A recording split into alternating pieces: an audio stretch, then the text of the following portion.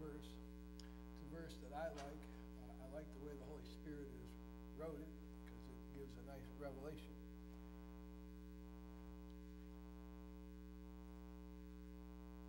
When righteous men do rejoice, there is great glory. But when the wicked rise, a man is hidden. Let's open a word of prayer. Heavenly Father, we thank you for the privilege to be Christians. Father, we thank you for your goodness, your blessings, and your truth. We thank you for all that we have. Now the comfort of the people is of God, is the honor of the nation in which they live. This applies to any nation on the earth that wants to have the God of creation be their God. Uh, it applied to the nation of Israel. Psalm 33 12 said, Blessed is the nation whose God is the Lord, and the people whom he hath chosen Now, there's a large debate, and that will go on until the Lord's return as to whether America is or ever was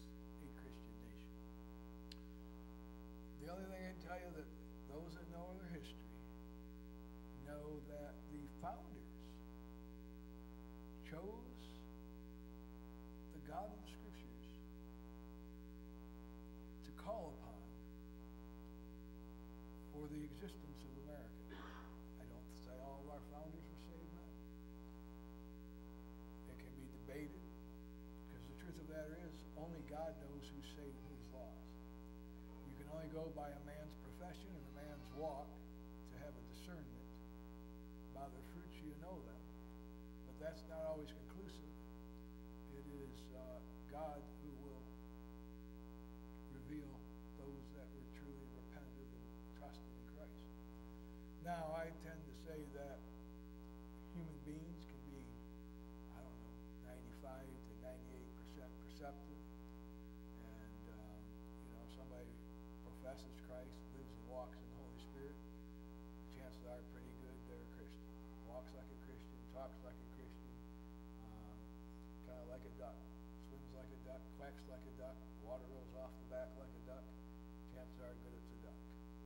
Uh, but man is limited to an outward appearance. The Lord looketh upon the heart, knows the truth, the whole truth, and nothing but the truth. That's the real reality of life, and that's just the way it is. God, I want to make sure when I give you the truth, God is not playing games with men. Whosoever shall call upon the name of the Lord shall be saved. It's not for somebody else to say somebody didn't call on the Lord, and they can't sit around and be in judgment. Well, you call on the way I think you should call upon the Lord. If they call on the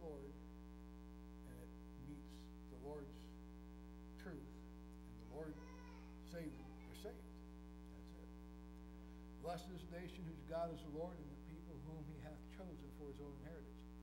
There is a great glory dwelling in the land when the righteous do rejoice, when they have their liberty, the free exercise of their faith, and are not persecuted for it.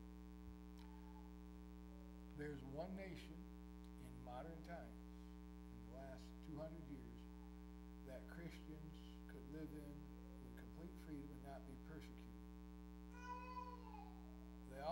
the same privilege through a period of time in England and through most of the other time of history, God's people have been persecuted in many countries.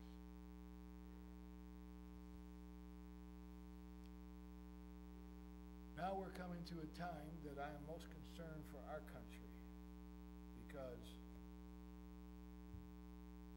when the righteous rejoice, there's great glory, but when the wicked rise, a man is hidden.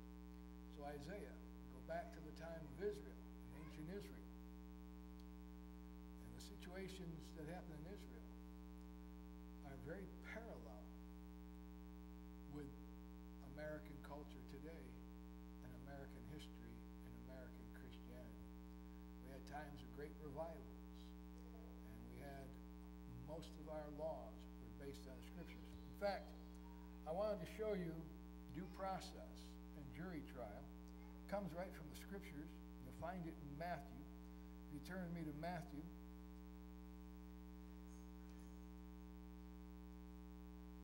Matthew 18. Verse fifteen, and this is the process, this is due process of justice. Whenever thy brother shall trespass against thee, go and tell him his fault between thee and him alone. If he shall hear thee, thou hast gained thy brother. But if he will not hear thee, then take with thee one or two more, that an amount of two or three witnesses every word may be established. And if he shall neglect to hear them, tell it unto the church. But if he neglect to hear the church, let him be unto thee as the heathen man and the publican. Now, those are some very important words. Let's go back through for just a moment. The way to deal Individuals go to individuals and tell the truth one to another. Wherever thy brother shall trespass. Now, notice it's a trespass. A trespass is not an offense. Excuse me, I should, I gotta restate it. It's not an offending, okay, because an offense can be a crime. A trespass is a violation on somebody else's right or property. You have to have something that's a trespass. One of the things today that people don't distinguish, especially in our in government, and that is true, there's a difference between ethics and legality or law. Ethics are what moral men live by in principles and are so. But law is what men break that they're accountable for. And when I say, what I mean by that is this. There are times that rare exceptions when one is not going to be considered ethical, but they're going to be legal and vice versa. Now, this is just an opinion, and we'd have to try it in the election that's taking place, this is just for here. I probably shouldn't, because it ain't gonna get out to anybody. It's my, just a- my opinion, we have one man that's lacks a lot of ethics in his dealing with other people and a person. And then we have a- another individual running that I think has violated law. I can't prove it because they won't form a grand jury and bring her to due process and find out. Um, How many of you think Mrs. Clinton has broke the law? But we, can't prove it. You gotta, you gotta have an indictment, you gotta have a trial, and you gotta have a conviction. All right, a person is innocent until proven guilty. This is our law, and it's good and right. It Comes from here, you see? Because you're supposed to go and tell between thee and him alone. And if he shall hear thee, thou hast gained thy brother. So if you go and tell somebody, well, you stepped on my toes, and they make it right, so I apologize, and here, let me wash your feet for you, and, and, and there's a restitution, whatever's necessary, and then there's complete repentance and forgiveness, then it's over with. Now, if you can't come to that resolution, this is the process of the legal system, it's called discovery. You take witnesses, and you go and put your facts and your spin before the witnesses, and they put their facts and their spin before the witnesses. And the witnesses establish every word. And if you still don't get a restitution, then you, due process takes it before the court. Now, this is something you won't hear taught, and people don't understand this, but the three branches of our government are based off the scriptures, the Father, the Son, and the Holy Spirit. This uh, division of power. And you find the same principle in the, in the Bible. Here, these are the scriptures? The Holy Ghost is the legislative branch of government. Okay, the pastor is the authority in the church, the executive, and the congregation is the judicial branch. You have your very three branches. When you have scriptures,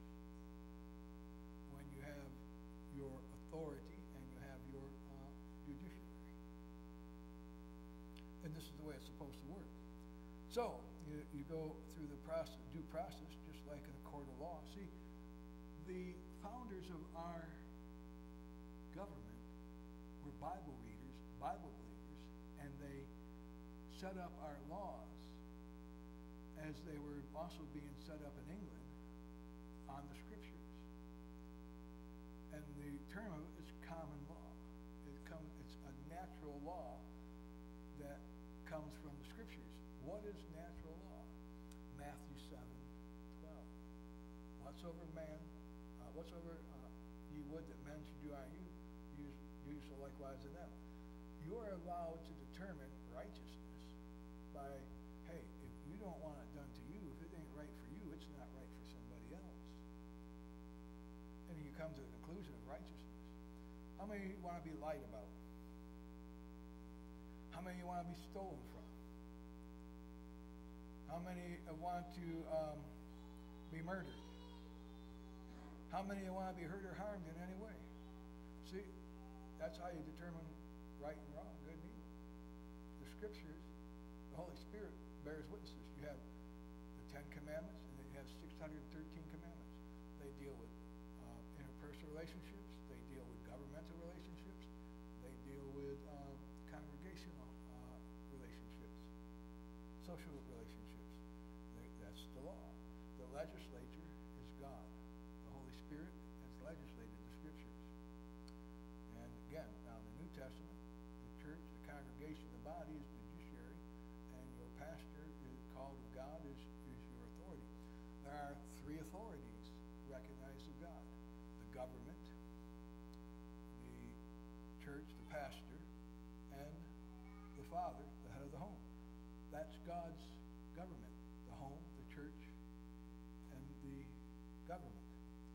The government, state government. Now, don't get confused, because your state government really includes in America both states and national governments. That's something more to talk about. Now, here's something you want to see that Christians don't realize, and that a lot of political correctness is coming to Christianity. Look at verse 18. Verily I say unto you, whatsoever ye shall bind on earth shall be bound in heaven, whatsoever ye shall loose in earth shall be loosed in heaven. Whoop, I went too far. Verse 17, 17, I'm sorry. And if he shall neglect to hear them, tell it unto the church. But if the church, uh, but if he neglect to hear the church, let him be unto thee as the heathen man and the publican. The church does not have any form of corporal punishment. The church only has exclusion. If you have somebody that is hurting and harming others and won't cease and desist, and you can't get a restitution, and it's a judgment of the whole church, and it's whatever way they're hurting and harming unlawfully, then you exclude them from your uh, membership. But notice how that you're to deal with them. See, now here's the thing, and pay attention to this. You've got this idea you're supposed to forgive everybody. Well, there's two ways to forgive, and you need to forgive everybody and everything so that you're free from the bondage of the sin and, and the desire for. On the other hand, you cannot reestablish fellowship until you have repentance. Okay? You're, no one is going to heaven without repentance. Paul preached the gospel, repentance towards God and faith in our Lord Jesus Christ. Jesus was very clear, except ye repent, you shall all likewise perish.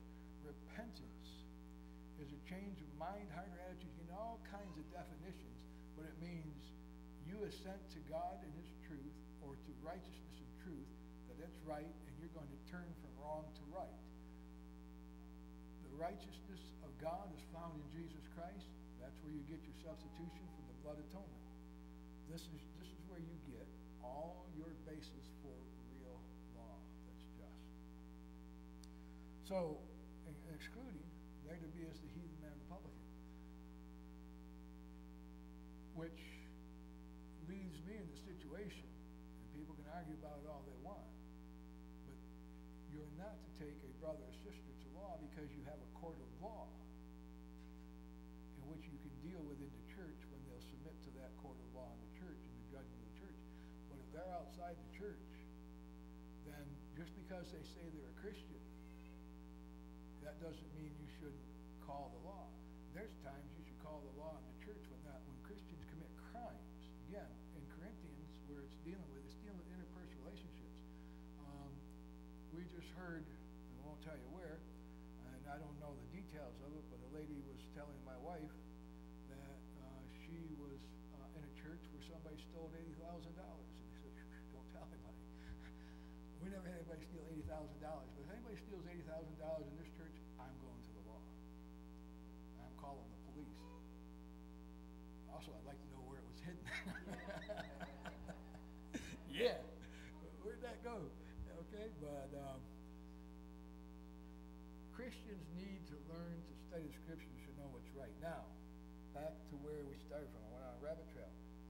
righteous men rejoice, there is great glory.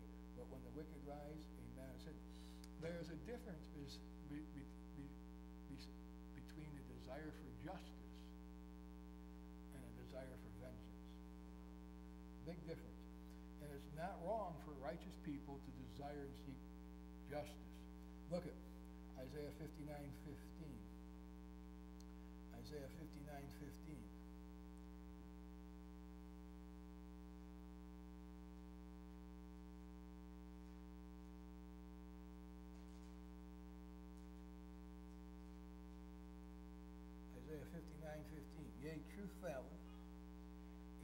Departeth from evil maketh himself a prey. And the Lord saw it, and it displeased him that there was no judgment. God is displeased when there's no judgment.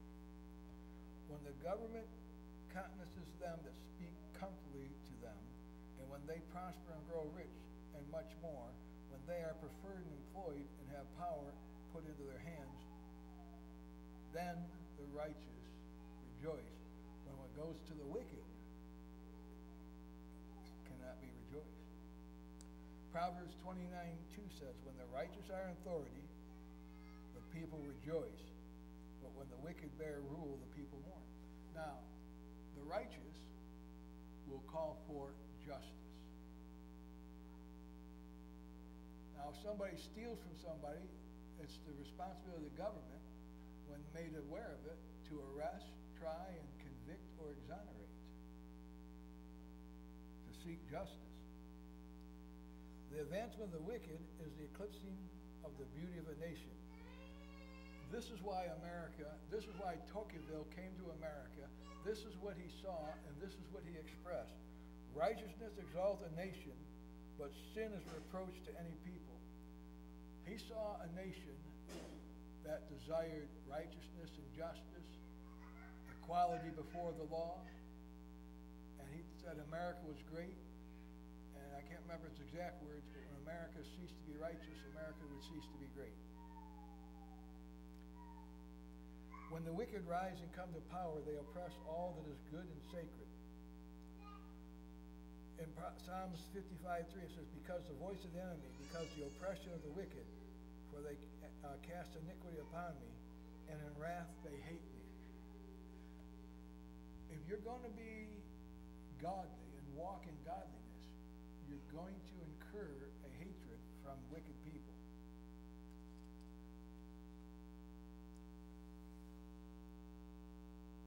Now, here's what I like most of all a man is hidden.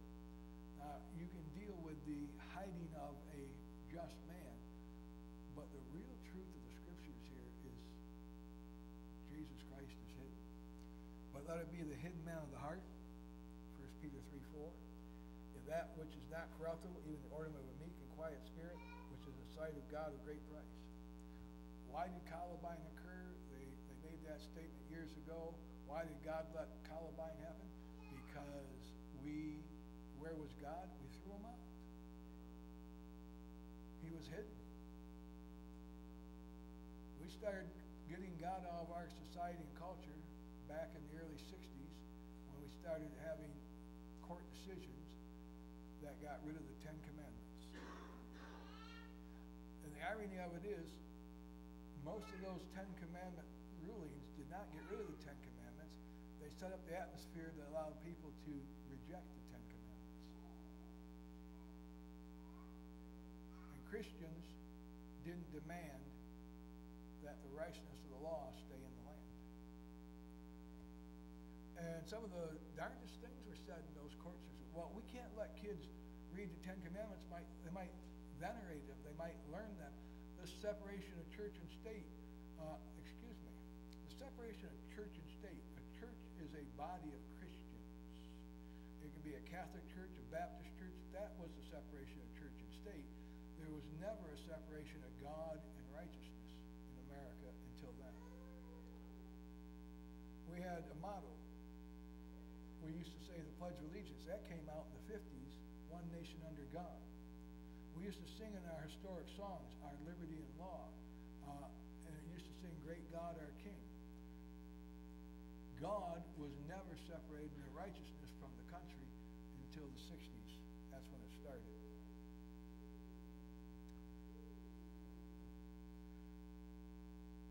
So we're in this situation today. The words of the Lord are pure words, the silver tried in the furnace of earth, purified seven times. Thou shalt keep them, O Lord, thou shalt preserve them from this generation forever. Now here it is, the wicked walk on every side when the vilest men are exalted. And that's the situation you're dealing with. It is a necessity sometimes for saved people to abscond for his own safety.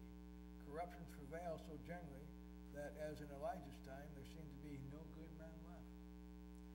And if you read the scriptures, it was such a depraved and, and despicable time.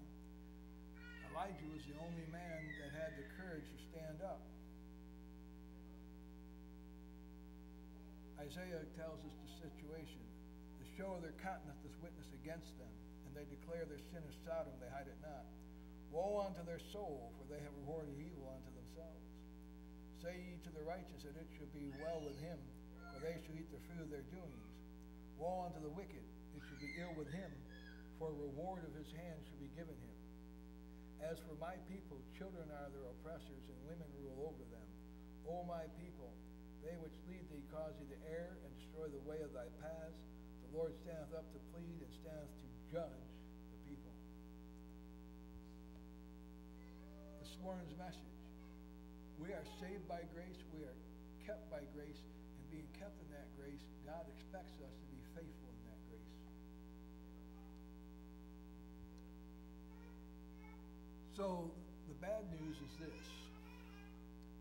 The wicked walk so thickly on every side, it's going to get worse. This know also, that in the last days perilous times will come. For men to be lovers of their own selves. That's the problem. They don't love God. Covetous, boasters, proud, blasphemers, disobedient to parents, unthankful, unholy, without natural affection, truce breakers, false accusers, incontinent, fierce, despisers of those that are good. Notice the despising of the good, the hidden man, the, the good man, excuse me, uh, the man is hidden. Traitors, heady, high-minded, lovers of pleasure more than lovers of God, having a form of godliness, but denying the power thereof, some such turn away. For of this sort are they which creep into houses and lead captive silly women laden with sins, led away with diverse lusts, ever learning, never able to come to the knowledge of the truth.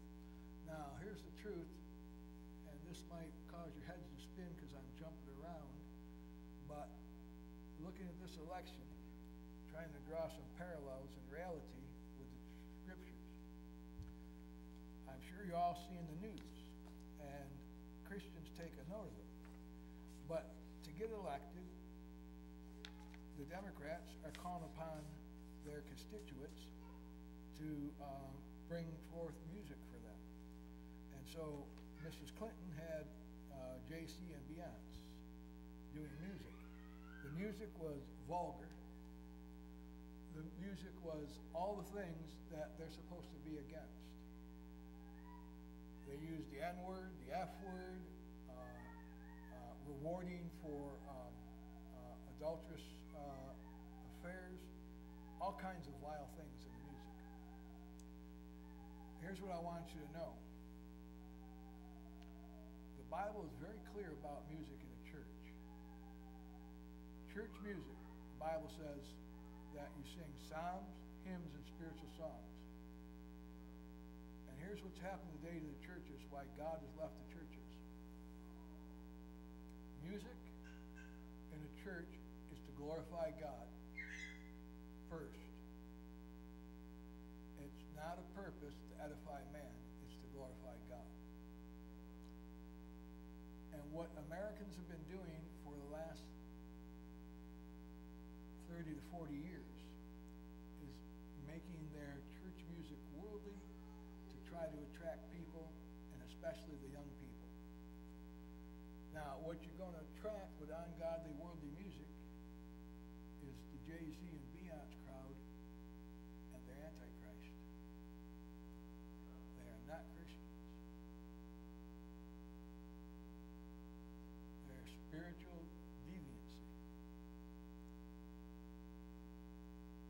That's what brought about our problems here. There was a individual that I allowed to come in here, because they asked me to, and I let him play his music. And his name was Jesse Craig. And Jesse played some Christian music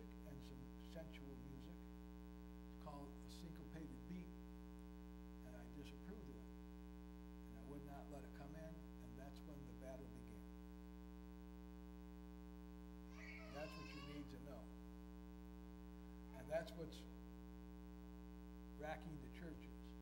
They just had a major church split last fall, a major church in Auburn. It was over the emerging church and ungodly music coming into the church. The people want emotional music, sensual music. Now, the word sensual is very important because Jesse confessed and admitted that he was singing sensual music. Only, here goes the words, not bad sensual, good sensual. Now, the Bible says sensual, not having the Spirit.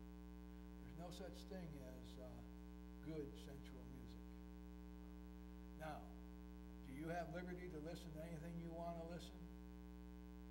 That is your liberty. That's not recommended as good for you, not in church. It's the pastor's job to maintain music that glorifies God. That's his duty and obligation as an ambassador of Christ. Well, that was quite a hopping around. Any questions? Because I covered a lot. Did that get too much of a hopping around, and was I reaching too far with everything on that scripture verse? Or did I cover a whole bunch of things for you? Okay. All right. Let's bring our services to a close then. Heavenly Father, we thank you for the privilege to be Christians. Father, we thank you for your goodness, your blessings,